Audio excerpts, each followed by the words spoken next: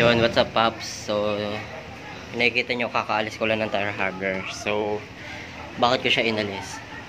Ang maganda kasi sa tire hugger, nakakatulong siya para ma-reduce yung putik o yung buhangin na pumapasok sa ating ah, throttle body or dito sa loob na ito. So, bakit ko siya inalis?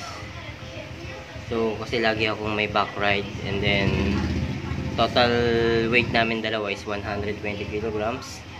So, tinanggal ko siya dahil nasayad. Ayan, kung nakikita nyo, gawa to sa fiber. So, nakaskas siya. Ayan o. Chinek ko, nakaskas siya. At kung makikita nyo yung markings nito, kala ko noong una is dumi. Pero kung makikita nyo yung markings niya, dito siya kumaskas. Ayun, kung nakikita nyo to, diba?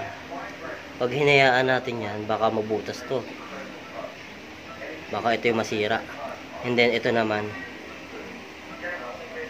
Ito. Yung rubber na to na pantakip dito sa likod. Ito naman yung kanyang kinaskasan. Ito.